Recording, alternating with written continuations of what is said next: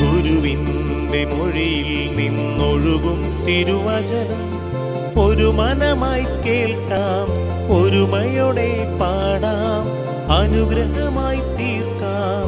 ഈ സുദിനം നമ്മിൽ വചനത്തിൻ കൃപയോടെ മുന്നേറിയിടാം മത്തായിയുടെ സുവിശേഷം ഇരുപത്തിയാറാം അധ്യായം നാൽപ്പതും നാൽപ്പത്തിയൊന്നും തിരുവചനങ്ങൾ. അവൻ പത്രോസിനോട് ചോദിച്ചു എന്നോടുകൂടെ ഒരു മണിക്കൂർ ഉണർന്നിരിക്കാൻ നിങ്ങൾക്ക് കഴിഞ്ഞില്ലേ? പ്രലോഭനത്തിൽ അകപ്പെടാതിരിക്കുവാൻ നിങ്ങൾ ഉണർന്നിരുന്ന് പ്രാർത്ഥിക്കുവിൻ. ആത്മാവ് സന്നദ്ധമെങ്കിലും ശരീരം ബലഹീനമാണ്. ഈശോയെ ഞങ്ങളുടെ കുടുംബ പ്രാർത്ഥന വേളയിൽ ഞങ്ങളെ അസ്വസ്ഥരാക്കാവുന്ന ഉദാസീനത മന്ദോഷണത ഉറക്കം തൂങ്ങൽ ലാഘവ ബുദ്ധി വ്യർത്ഥവിചാരങ്ങൾ തുടങ്ങി പലവിധത്തിൽ ഞങ്ങളെ സ്വാധീനിക്കാവുന്ന അന്ധകാര ശക്തിയുടെ പിടിയിൽ നിന്ന് എന്നെയും എന്റെ കുടുംബാംഗങ്ങളെയും മോചിപ്പിക്കണമേ. നമ്മുടെ കർത്താവി ശമിശിഹായുടെ കൃപയും പിതാവായ ദൈവത്തിന്റെ സ്നേഹവും പരിശുദ്ധാത്മാവിന്റെ സഹവാസവും പരിശുദ്ധ അമ്മയുടെയും നീതിമാനായ മാറിയോസേപ്പിന്റെ മാധ്യസ്ഥവും സകല മാലാഹമാരുടെയും സകല വിശുദ്ധരുടെയും സംരക്ഷണവും നൽകി സാർവശക്തനായ ദൈവം നിങ്ങളെയും നിങ്ങളുടെ കുടുംബങ്ങളെയും ആശീർവദിച്ചനെ ഗ്രഹിക്കട്ടെ ഇപ്പോഴും എപ്പോഴും എന്നേക്കും. ആമേ വചനത്തിൻ